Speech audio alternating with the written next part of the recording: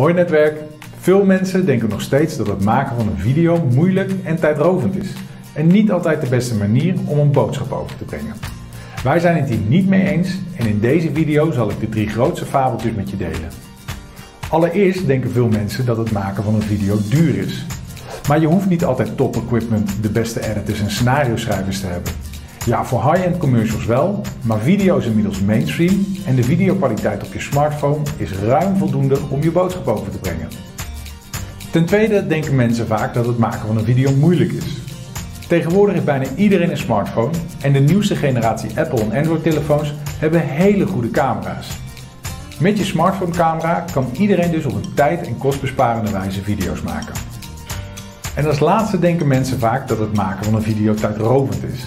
Maar tools zoals Formats bieden alle templates en instellingen die je nodig hebt om in een handomdraai professionele video's te maken. Wees jezelf en niemand verwacht dat je perfect bent.